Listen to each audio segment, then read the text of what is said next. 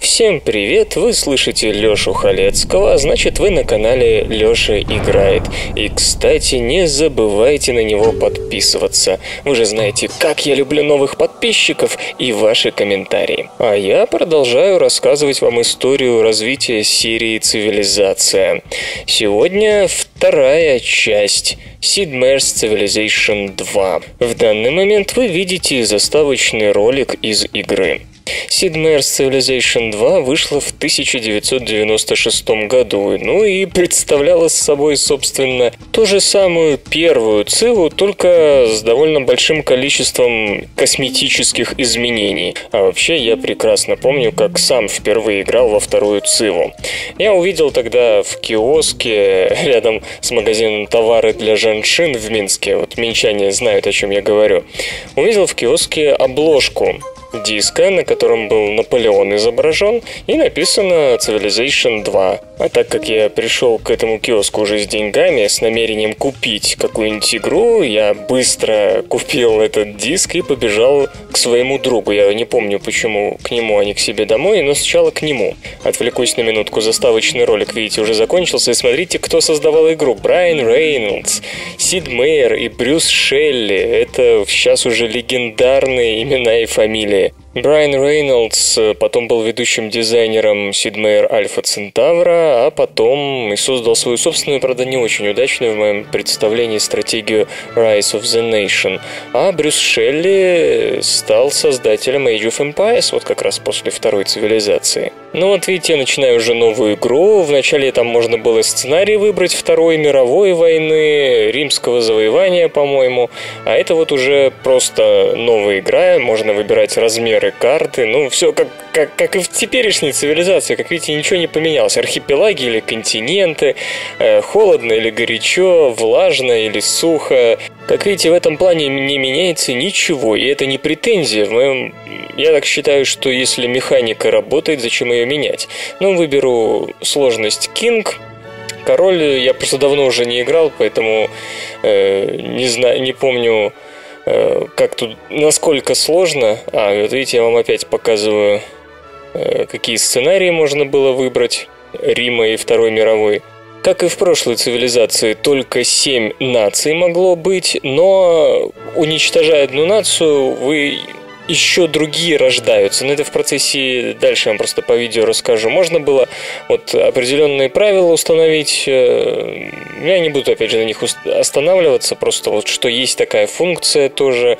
Э, это все идет, в общем-то, из второй цивилизации. Всякие настройки карты такие углубленные. Ну и как и в первой цивилизации, э, были определенные нации с одинаковыми цветами, например, Россия белые. Ну вот, вот все, кто по горизонтали, вот сейчас, сейчас я остановлю кадр, вот видите, три нации по горизонтали – это нации с одинаковым цветом в игре. То есть э, Рим, русские и кельты появляются в игре одним цветом белым. И одновременно в игре они просто не могут быть. То есть, если вы играете за русских, а мы сейчас будем за них играть, то против нас точно не появятся Рим и Кельты.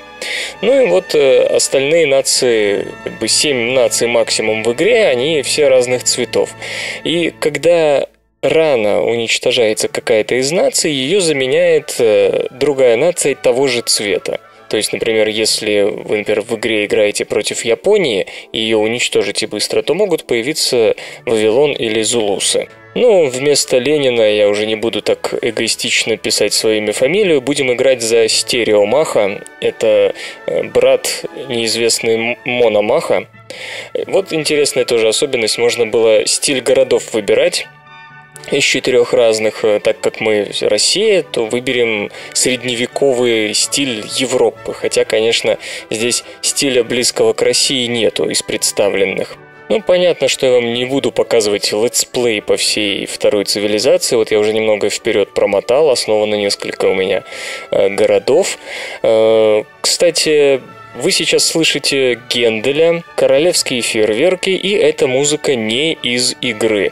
К сожалению, у меня были довольно большие технические проблемы запустить вторую Циву. В итоге мне пришлось э, находить виртуальную XP, запускать виртуально Windows XP под моей семеркой, Windows 7. Э, там запускать уже Циву, потом под эту XP находить программу, которая записывает видео, и она звук, э, как я не бился, в общем, я так и не смог с ее помощью записать звук. Поэтому вот я опять пользуюсь классической, классическим заменителем, Генделем, спасибо ему большое.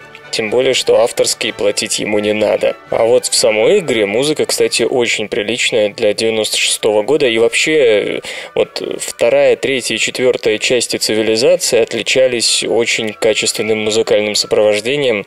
А начальная песня из четвертой цивы вообще для меня была хитом долгое время. К сожалению, вот пятая часть с этим подкачала. Вернусь к истории знакомства со второй цивой. И вот я пришел к своему другу домой, принес этот диск, и мы быстрее ее установили, конечно, там поразвлекались э, с избавлением от лицензионности, там какие-то пиратские замуты были еще на русском языке, как-то странно была переведена крекозябрами, но неважно. Мы запустили, и когда у нас появилось на экране э, вот примерно то же, что вы сейчас видите на своем экране, мы закричали «Ух ты, трехмерная цива!» Ну, вы понимаете, что молоды были, не разбирались. Настоящая трехмерная цива только четвертая часть стала, а вторая просто в изометрии. Но по сравнению с первой цивилизацией, где были плоские квадратики, на которых смотришь сверху в разрешении 320 на 240, по-моему, и с какими-то рисунками, которые вообще непонятно, что там нарисовано. Например, для поселенцы в первой циве это какие-то уточки в шапках. Но вторая цива выглядела просто каким-то пиршеством для глаз. И вот обратите внимание, сейчас я его запускаю на современном мониторе с современным разрешением под XP, и она тоже нормально выглядит. То есть ее, э, ну вот, вот сейчас я, правда, с отстеками общаюсь, видите, он в таком квадратике, э, в прямоугольнике, потому что, видимо, под разрешение 800 на 600 делалось, а видео именно делалось под такое разрешение. А сама игра, вот там, где юниты двигаются и так далее, она замечательно масштабируется и сейчас. И выглядит сейчас ну, вполне сносно. Ну, естественно, нету никаких анимаций, э, видите, море не двигается, юниты только мигают, они, они что-то делают. Но по сравнению с первой цивой, которая мне даже пришлось растягивать для вас чтобы видео не было 320 на 240, а хотя бы побольше, то здесь я спокойно снимаю с разрешением 1280 на 720, вот оригинальную цивилизацию ничего с ней не делаю. То есть все замечательно масштабируется. Ну а тогда, я, кстати, купил ее не в 96-м, а в 97-м году, тогда вот эта вторая цива по сравнению с первой а, было вообще офигеть. И тут столько всего э, нам казалось нового, хотя вот сейчас я делаю обзор и понимаю, что по сравнению с первой цивой, э, если не считать графику, то нововведений не так уж и много. А вот, кстати, небольшое уточнение, я тут просто почитал о, о том, что во второй цивилизации появилось, и э, пишут, что в разработке вот этой второй части ни Сид Мейер, ни Брюс Шелли э, участие не принимали, несмотря на то, что в названии имя Сида Мейера есть, но это товарный знак. Э, вот, то есть благодарим больше Брайана Рейнольдса, видимо, за вторую ЦИУ, тем более, что он многие идеи отсюда потом перенес и в Альфа Центавру. Э, ну так вот, э, по сравнению с первой частью изменения не очень-то велики, ну новые юниты, само собой, там новые цивилизации, если в первой было их 14, то, по-моему, сейчас 21. Э, чудеса света, технологии, графика вот офигенная стала. Кстати, появление чудес сопровождалось видео с музыкой, ну, то есть тогда это вообще смотрелось офигенно. Причем потом в других частях цивилизации от этого и отказались. И вот в пятой цивилизации, ну, правда, тоже прикольная очень качественный арт в пятой цивилизации со своим собственным стилем, но это не сравнится с, с тем восторгом, который был во второй циве, когда вы строили чудо и вам видюшку показывали. Так, сейчас я вам, наверное, может, какой-нибудь покажу, кстати. Вот, например, какой ролик и с какой музыкой показывали после окончания строительства колосса. Я вот в таком маленьком окошке вам показываю, потому что, ну, это примерно в таком вот разрешении они были, эти э, ролики, 160, по-моему, на 130 точек, и чтобы не растягивать, вы же понимаете, что если это растяну в 10 раз на 1280 на 720 будет все в пикселах. А так вот, э, такой ролик, оно там и э, натуральные съемки совмещаются, и с картинами прошлого, и вот пишут название и что он дает. Э, города производят э, одну дополнительную стрелочку торговли на тех клетках, которые уже производят одну клеточку в этом городе. Да, в, этом, э, в этой ЦИВе были два таких разных ресурса, которые в последующих объединились. То есть золото было отдельно, монетки, а еще был ресурс торговля, вот такие стрелочки. Об этом опять же позже. Одним из основных э, нововведений в механике боя, вот видите, появились очки жизни. То есть он не сразу юнит, который напал на мою фалангу, умер, а у него вот уменьшались очки жизни. И у моего юнита тоже уменьшались. И это, э, в принципе, опять же, дошло аж до пятой цивилизации. А появилась вот во второй. Ну, юниты прокачивались тоже, но всего одна прокачка у них была. Они становились ветеранами. То есть начинали воевать круче.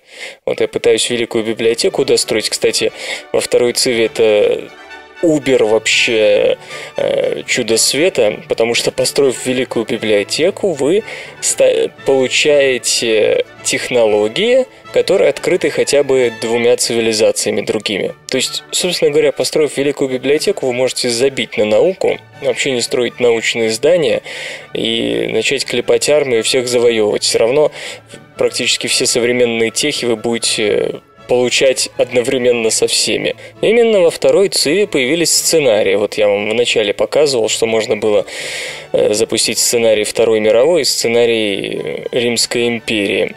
Э, до этого можно было только на сгенерированных картах играть.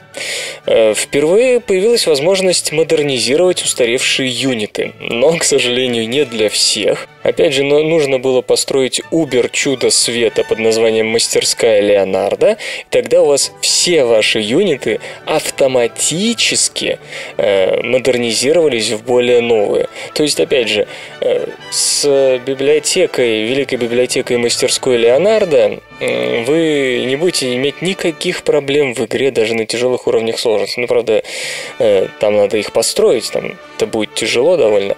Э, и вот вы клепаете огромную армию, и вам не надо уже париться о том, чтобы модернизировать. А все остальные, то есть вы спросите, а как же остальные нации? А они воюют старыми юнитами. Открыли новый юнит, будьте добры заново строить армию из вот этих свежих продвинутых юнитов. Ну, как и в первой части, победить можно было всего тремя способами.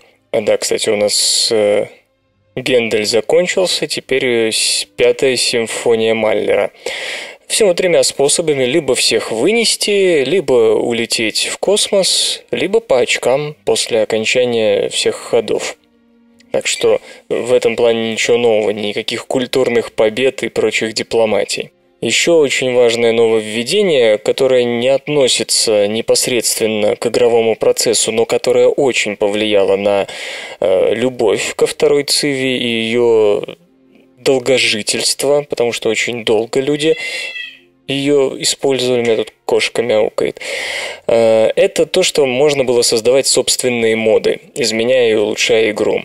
Э, ну и, собственно, это, опять же, как и другие идеи, о которых я рассказал, осталось и в третьей, и в четвертой, и в пятой цивилизации. Очень много людей там свои сценарии придумывали, э, свои нации, и это очень помогло э, продлить жизнь второй циве.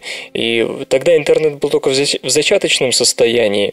Например, у меня его и не было где-то до третьего до третьей цивилизации. И вот эти всякие моды и нации у нас продавались на дисках, видимо, э, причем не выпускающиеся вот э, самой фирмой Firaxis, потому что она тоже выпускала и дополнение, там, я помню, Fantasy World было ко второй циве, а именно пираты, видимо, скачивали э, всякие модификации людей, Э, поклонников, которые выкладывались уже тогда в интернете, и продавали их. Вот так э, ваши любимые пираты э, зарабатывали денежку. Ну вот да, я опять посмотрел, э, почитал о второй ЦИВе на всяких форумах. Э, выходили именно дополнения к игре, которые на сценариях строились. То есть вот Conflicts in Civilization 97 года, 20 новых сценариев, Fantastic Worlds, который я покупал, помню, тоже 97 года, там 19 новых сценариев, и он мне не, ужасно не понравился, потому что там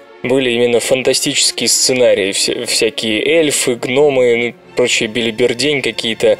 Ну, я просто... Мне цивилизация нравится, потому что это как бы такая модель мира настоящего. Ну, то есть там прошлые цивилизации, что-то такое. А когда оно превращается в героев меча и магии, я могу поиграть в героев меча и магии, эту игру поставив. Ну, ладно, это отклонение. И еще мультиплеер Gold Edition, Test of Time, причем некоторые это называют э, цивилизации 2 и 5, 2,5, то есть там очень большие переработки были э, в этом плане. И она выпускалась скорее как эм, конкурент Call to Power тогда. Ну, то есть там были вообще проблемы с маркой цивилизации, неизвестно, что дальше с ней будет. Э, продавали вот этой конторе, которая Call to Power э, выпускала. В моем представлении Call to Power вообще мертворожденный проект, такой к стратегиям мало относящийся, но неважно. Вернемся к нашей вот второй цели. Если вы следите за происходящим на экране, то видите, что я вовсю воюю. Уже завоевал Цингтао, один из э, китайских городов, и Хладир, это один из городов викингов. Вообще, вторая цива, она предрасполагает именно к военной победе и к расползанию городов. И цивилизация вообще с первой по третью они заставляют игрока как можно больше городов строить или завоевывать, потому что побеждает тот, у кого больше городов.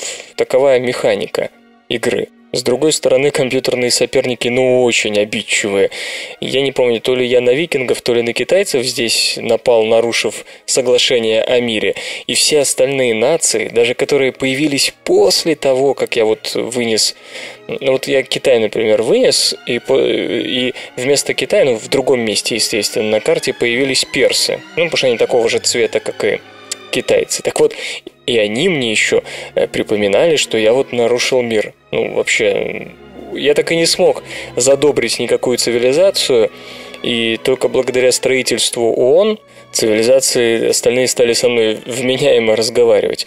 А, тогда, а бонусы ООН в этой игре, что все цивилизации, к которым вы обращаетесь после строительства этого чуда, обязаны с вами заключать мир. Вот так.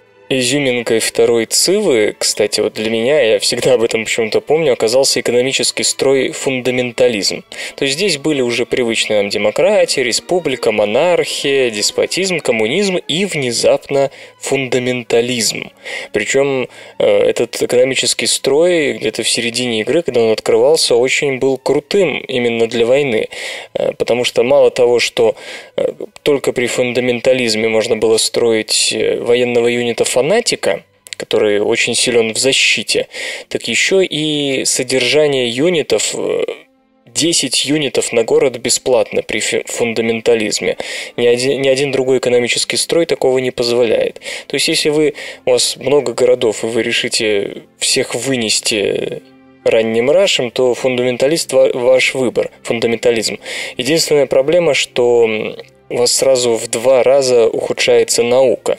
Но если вы впереди открыли уже юниты, с помощью которых вы будете выносить, и они самые продвинутые, то переключение на фундаментализм, на несколько там десятков ходов, в течение которых вы будете выносить всех и вся, себя оправдывает. Но вообще вот экономический строй, это парадигма во второй циви, в моем понимании, как и в первой, не очень была продумана, потому что коммунизм здесь рулил, получается намного круче, чем республика и демократия внезапно. Причем даже э, на науку он нормально, не, не сильно влияет.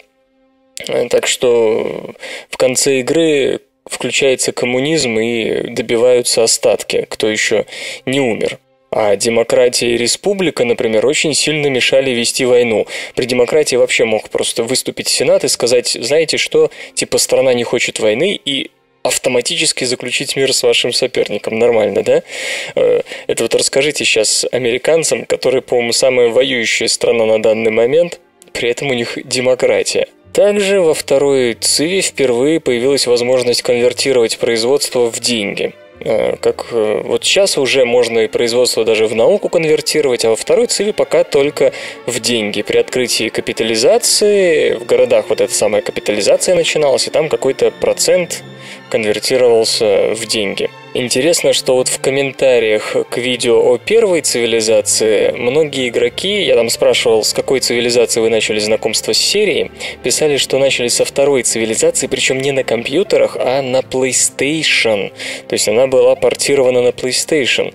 Я, честно говоря, с трудом себе представляю, как можно в Циву играть с геймпада, но вот люди писали, что днями просто засиживались перед второй Цивой именно с геймпадом.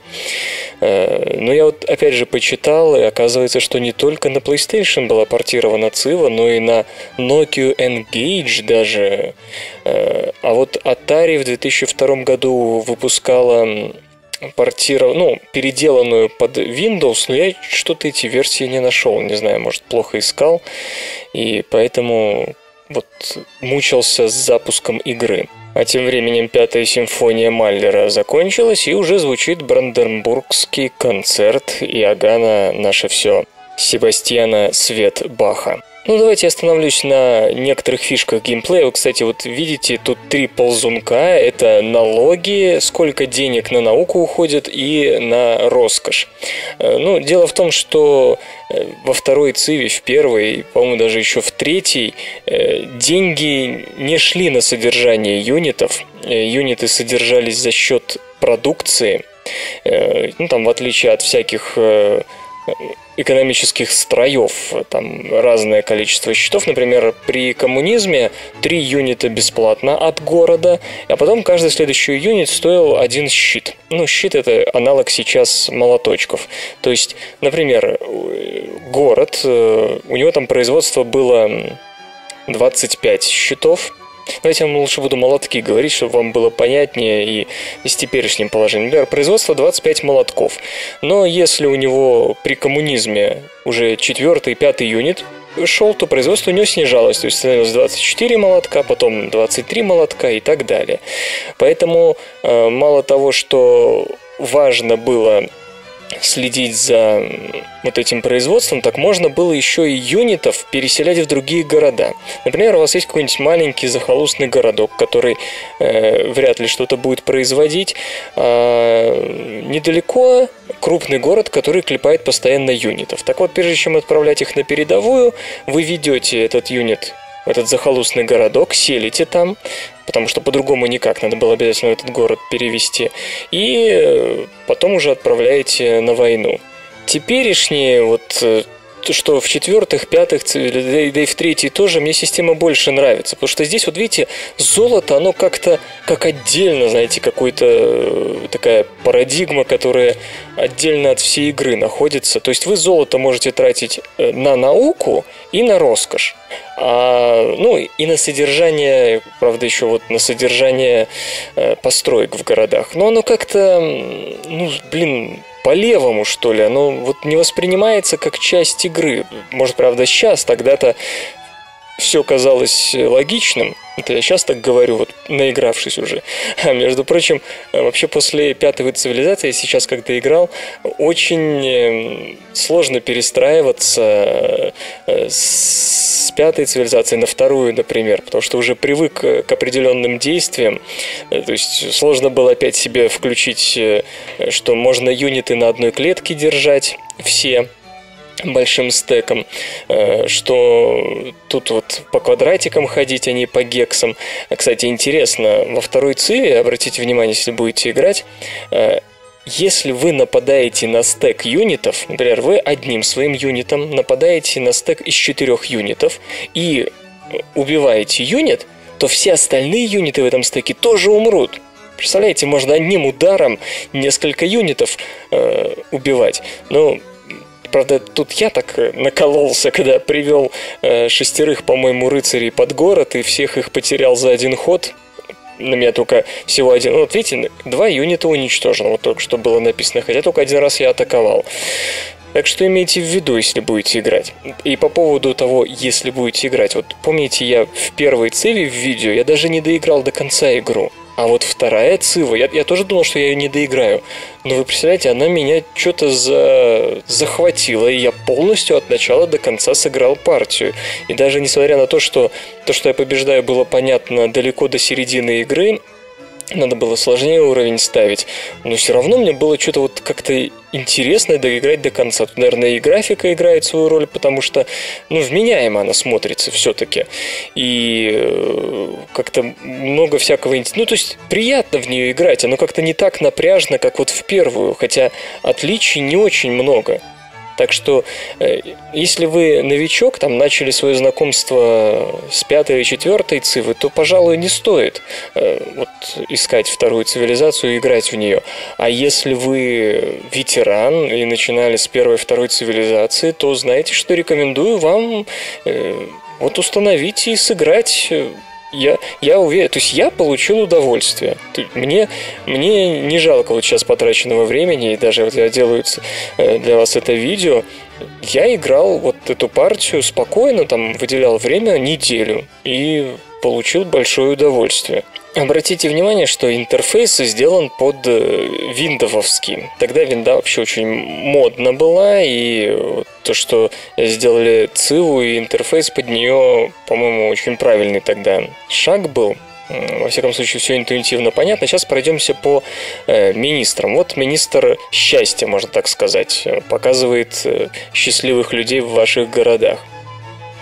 Э, следующий министр, военный министр, а, нет, прошу прощения, э, городов. Но, видите, тут не особо визуально понятно, то есть нельзя, к сожалению, по производству сортировать, по еде, то есть только проматывать, причем почему вот в таком порядке расположены города, я, не, я так и не, не, не понял, в каком порядке их расположили, даже не по алфавиту, не по степени основания или завоевания, не по развитию, и никак это отсортировать нельзя. Единственное, что плюс очень хорошо показано, что там производится, вот желтым юниты, белым э, э строение, синим там чудеса, ну это общее развитие цивилизации, очки, какие у меня э, чудеса построены. Ну, такой э, общий взгляд. Ну вот, наконец, министр обороны. Вот у меня 15 поселенцев, 20 э, винтовочников, 2 в производстве, 16 кавалерия. Но я вам напомню, может, опять же, новички не помнят, что поселенцы по-моему, аж до четвертой цивы э, являлись не только поселенцами, собственно, но и рабочими. То есть поселенцы и города основывали, и строили э, улучшения. Но вот интересная еще табличка есть, э, какие потери. Вот белым это мое, а остальными цветами это другие цивилизации. Зеленым вавилоняне, то есть вы можете видеть, э, какие потери понесли ваши соперники. Но это только в том случае, если вы там основали посольство. У меня, ну, вот общая раз демография. Здесь, кстати, много несколько есть строк, которые я даже не знаю, что означают. Например, э, вот э, размер семьи, что значит, потом э, продолжительность жизни, что значит, на что это влияет или что это показатель чего, какой размер, сколько у меня жителей в стране, непонятно. Казалось бы, производство должно вот продуктивити показывать, но есть еще и строка manufacturing goods, вот четвертая сверху. То есть две строки производства, и, ну, не очень понятна методемография, я уж, извините, я не разбирался. Вот э, министр иностранных дел. Э, так как у меня построено путешествие Марко Поло, а это чудо дает посольство сразу во всех странах. А вот, кстати, видите, тут э, показано мои внизу нау наука, вот все, что э, таким цветом морской волны, значит, я открыл, а если оно не такого цвета, есть какой-то наука, значит, открыл кто-то другой из моих соперников. Ну, так как я тут уже впереди по всем параметрам, то как бы... Ну вот мы сейчас смотрим немцев, что они какие то агрессивные и воинственные – так, кого мы еще посмотрим? Ацтеков. Ацтеки у нас enraged, а мы в войне, они вот цивилизованные перфекционисты. Ну, то есть э, у всех цивилизаций, опять же, начиная со второй, были определенные характеристики, их склонность э, к игре. Ну, кстати, оно не очень сильно видно. Вот э, Англия экспансионист, то есть, видимо, много городов строит. Но я как раз уже в этот момент Англию выношу постепенно. Вот исследует э, паровой двигатель. Четыре города всего осталось. Ну, опять же, Повторюсь, что это потому, что у вас, э, у, меня посольство открыто в этих городах, поэтому я всю эту информацию вижу. Без посольства этого не было видно бы. Если вы не построите чудо э, путешествия Марко Поло, то посольство размещается дипломатом. Э, по-моему, после письменности уже дипломат можно строить дипломата, и вы просто подводите к ближайшему городу, как бы идете в этот город, и у вас вылезает менюшка, где можно выбрать, основать посольство, украсть технологию и так далее, устроить саботаж. То есть, ну, во второй циве, конечно, дипломатия да нет, лучше так сказать, шпионаж намного круче, чем в четвертой или пятой. Э, а вот дипломатия, конечно, похуже. Хоть все и ругают дипломатию пятерки, но во второй, то есть здесь очень, как не очень ты можешь повлиять на своих соперников, у них там что-то свое в голове, абсолютно свой борщ, и на наш борщ они не обращают внимания. Так, кому-то что не писали. Ну вот видите, 7, да, 6 наций, не считая нас. Причем персы это уже новая нация, потому что я вынес э, э, китайцев. Так как китайцев нет, то вместо них вот уже персы появились где-то на карте, то есть на свободном месте. Да, Бах у нас уже закончился, звучит финальный вальс из «Щелкунчика» Чайковского. Ну вот, э, одна из фишек тоже второй цивилизации – анимированные советники. К сожалению, видите, как они у меня тут тормозят. Вот это все из-за звука, потому что как-то и звук не записывается, и за счет этого вот советники как-то э, странно тормозят. Сейчас я вам покажу, к сожалению, не вот в таком виде, а отдельно, что советники говорят. Прикол в том, что они э, мало того, что вам говорят э, что-то, но еще и между собой спорят. Видите, вот сейчас экономический советник говорит, что мы богаты, а на это ему военный отвечает, типа того, раз мы богаты, так давай покупать стены, почему у нас мало стен. Ну вот, э, министр иностранных дел говорит, что надо улучшать свою репутацию с другими странами, а культурного советника они сделали почему-то под Элвиса Пресли. Причем и они три раза, два раза меняют одежду. Сначала они вот в, так, в таких античных одеждах, потом в одеждах средневековья и, наконец, в современных одеждах. Так, сейчас я вам покажу вообще их разговоры. Ну вот э, такие видюшки появляются, э, только их, их пятеро находится. Ну вот вы видели перед этим все пять э, советников на экране. Вот сейчас военный советник просит больше денег на войну, а ему противоречит научный советник и советник по экономике типа того, что не стоит давать ему денег. Ну вот, типа, давайте больше построим кораблей и утопим в море крови наших соперников.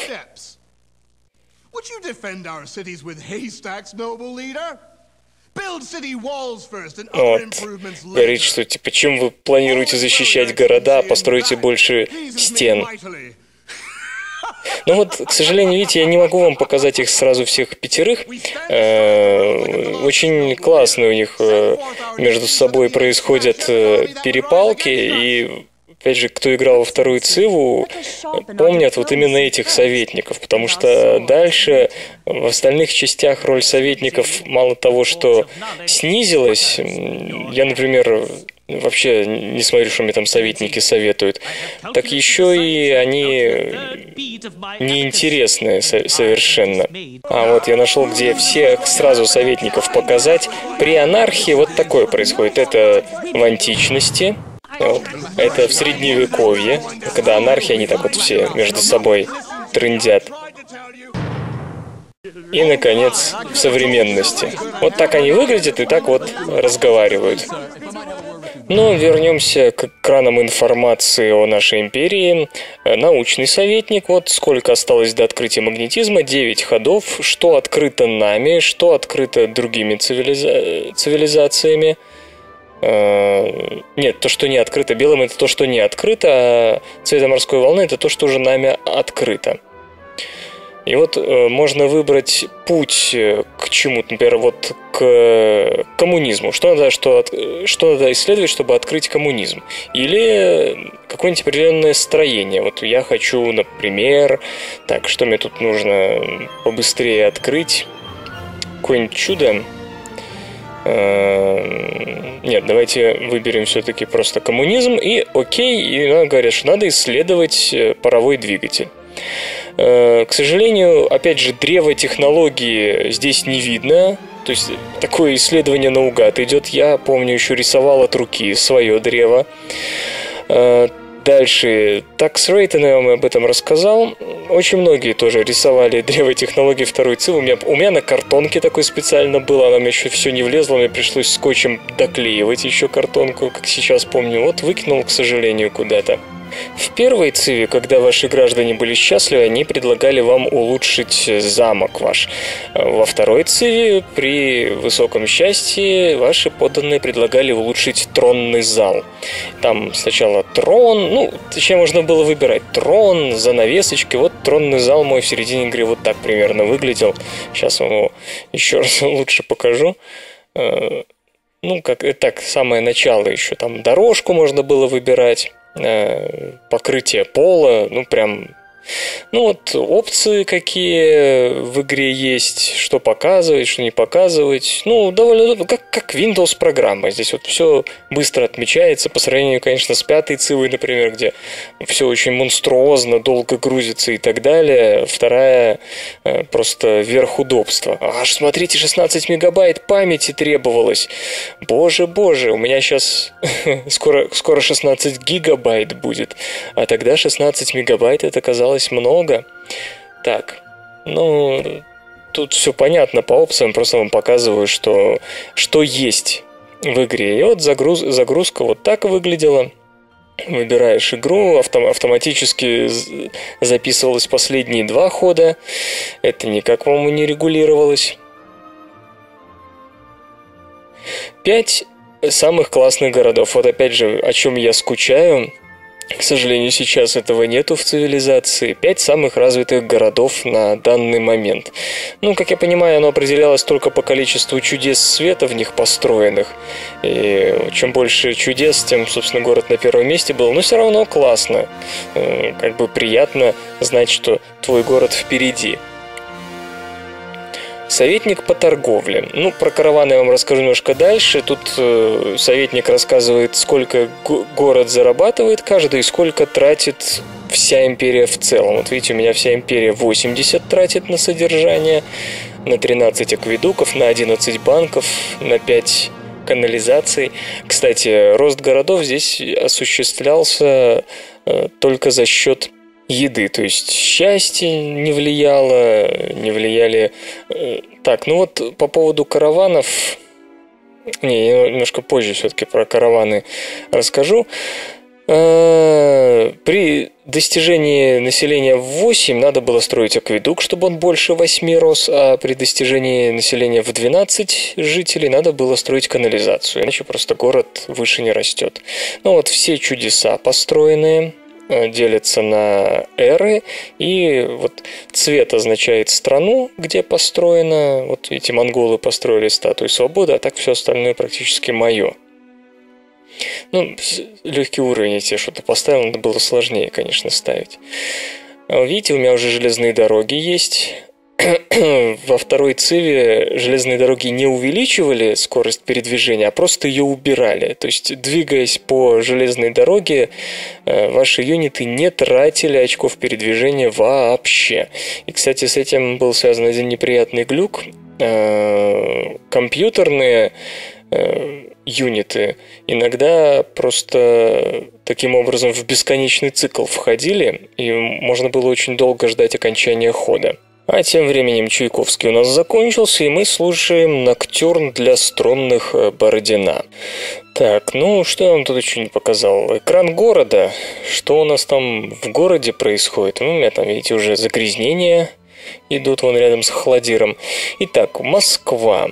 Э, ну, жители, понятно, вот какие клетки обрабатываются, это все из серии в серию переходит, все можно выключать, выключаешь, можно менять, но тут, правда, только э, артист, э, экономист, тогда больше золота дается, и ученый, тогда больше науки. То есть тут нету ни инженеров, ни кто, кто у нас еще новые появились.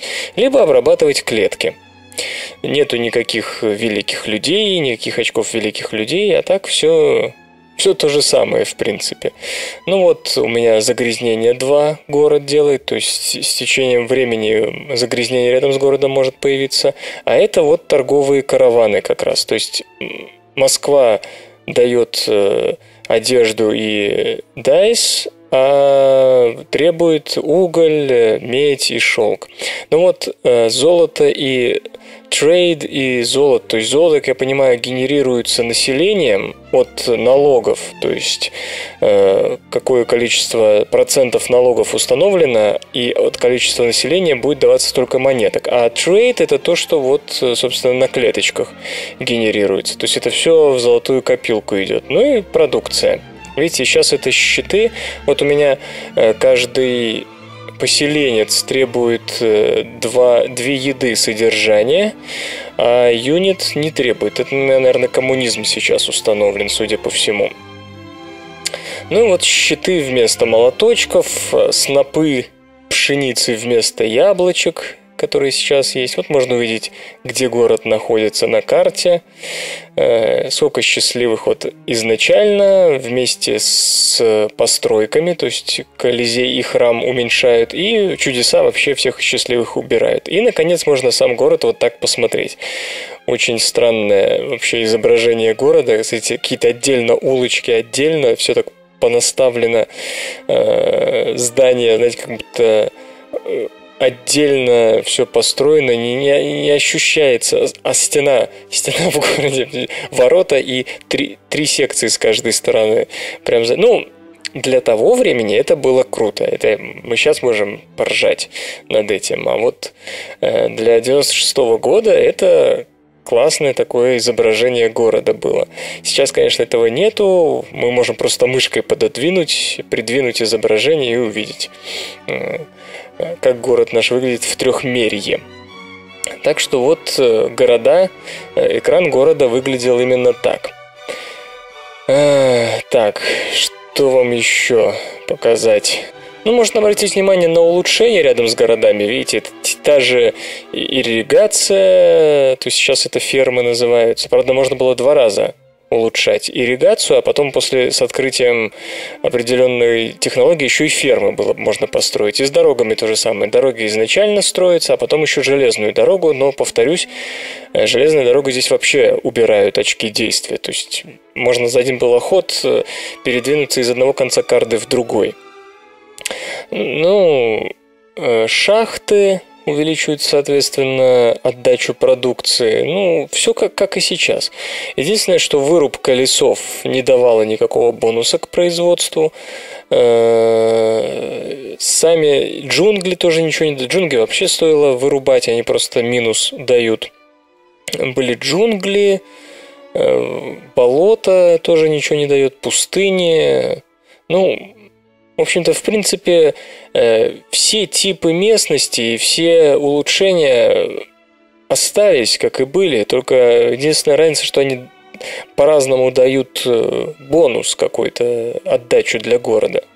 Он, кстати, меня тут сразу попросили улучшить тронную комнату, заодно вам покажу, как это делалось. Э, нажимается. Вот э, сейчас можно улучшить только вот эти колонны по бокам, видите, которые цветные, и занавеску. Вот, в общем, желтого и красного цвета. Красные колонны по бокам. То, что цветное, можно улучшить. Э, так, и что я выбрал тут?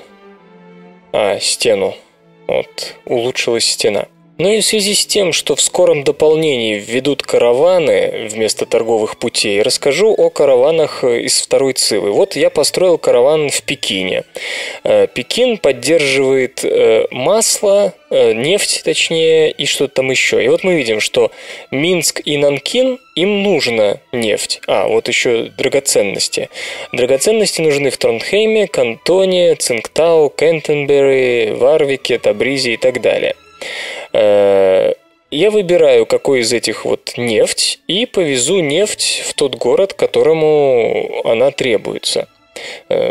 Сейчас э, надо выбрать, ведь меня переключило на другой уровень. Ну, в начале игры каравана, а тут у меня уже э, фрахт называется, потому что я э, в современной эре тогда верблюдики караванчики-верблюдики заменяются фрахтами. Ага, в Минск. Вот видите, я могу сразу и установить торговый путь, потому что Минск требует нефти. Заработал 201 рубль э, за один ход и установил торговый путь. И теперь вот если мы зайдем э, в Пекин или Минск, видите, с Минском нефть плюс 3 золотых. Каждый ход мне будет кавать. Причем с каждым ходом будет постепенно увеличиваться. То есть мы одномоментно, и вот видите, уже в скоб... то, что в скобочках, это то, что уже используется. То есть э, этот ресурс с еще одним караваном невозможно будет передать. То есть, грубо говоря, э, вот с Минском можно три... Минск может три каравана отправить и принять три каравана. Вот мы сейчас, это я в Пекине смотрел, сейчас в Минске посмотрели. Понимаете, да? Ну, кроме, ну вот еще в, в Trade Advisor, что я до этого открывал, мы можем смотреть общее э, состояние, вот, например, уран, а уран нигде не, от, нигде не требуется и нигде, не, видимо, еще технологии недостаточно. Вот уголь. Уголь требуется во многих городах. Он вообще везде требуется и нигде не содержится. Ладно, где надо что-то открыть такое, чтобы и то, и то было. Шерсть. Вот, шерсть требуется в Йорке, Ковентри и Кашгаре и производит ее Табриз. То есть в Табризе строится караван и с шерстью отправляется в эти три города. Три города. Кроме того, караваны могут еду передавать. То есть вот там вот было, видите, я выбирал либо уголь, либо драгоценности, либо food supply. То есть я мог с караваном передать, э, ну, к сожалению, по-моему, только один снопик вот сена, один, одну еду э, в город, который, мне кажется, может голодать или которому требуется еда для роста. Как я понял, в новом аддоне можно будет передавать все. То есть и еду, и э, производство молоточки, и что там еще, ну и деньги, соответственно, тоже. Э, таким образом, вы сможете распределять излишки вашей империи по разным городам, если вы хотите, чтобы они равномерно развивались. То есть это будет еще одна дополнительная интересная особенность э, Цивы. И вот поиграв во вторую циву, мне здесь механика караванов очень понравилась. Э, это было интересно, во всяком случае, смотреть, где что требуется, и передавать туда товары. Единственное, что вот эти товары, там, например, вот в Китае он поддерживает уголь, драгоценные камни, а требует нефть, вот это все от балды написано. То есть это не влияет на те ресурсы, которые рядом с городом. Вот смотрите, поддерживается одежда, золото и драгоценные камни. Это не значит, что рядом с этим городом есть месторождение золота или драгоценных камней. Нет, просто вот игра как-то это рандомно распределила. А в аддоне я думаю, что все-таки это будет э, зависеть от ресурсов, которые рядом с этим городом находятся. Ну, это, конечно, мои такие клеветнические измышления. А если вы это видео еще и смотрите после того, как аддон вышел, то вообще вам, наверное, это смешно слушать. Э, кроме того, караваны убыстряли строительство чудес света, то есть они во второй циве играли роль таких великих инженеров. Можно было начать строить чудо в каком-нибудь городе и одновременно с этим во всех остальных городах строить караваны и чудо стро... построить практически за несколько ходов. Ну или там заранее караваны строить, уже подготав... подгадав к этому чуду. Так что караваны были важной частью. Ну, кстати, вообще чудеса можно было завершать и обычной покупкой. То есть э, в нынешних же цивах нельзя купить чудо света, а тут можно было совершенно спокойно завершить. Более того, можно было переключаться с производства одного на другое. Э, только разных типов нельзя было переключаться. То есть, если вы строите здание и переключитесь, переключитесь на строительство другого здания, то у вас молоточки сохранятся. А если вы строите здание и переключитесь на строительство юнитов или, например, чудо света, то он напишет, что вы потеряете 50% уже накопленных э, молоточков. Если согласны, то можете переключаться. Э, напомню, в современной Циве такого нету. То есть все, что вы строите, оно идет вот именно к этому типу, что вы строите. Там строите библиотеку. Э, все идет в нее. Переключитесь на храм, значит, придется храм строить с самого начала. Ну, по-моему, это правильнее. Мне такая механика больше нравится и больше импонирует. На этом позвольте рассказ о второй цивилизации завершить. Опять у меня какие-то длинные видео получаются, практически час, хотя планировал, опять же, недолго это рассказывать.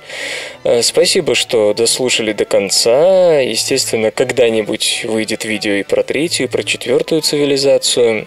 Играйте в умные, интересные игры, играйте в цивилизацию. Вы слышали Лешу Халецкого, канал Леша играет, на который я рекомендую подписаться. И удачи вам!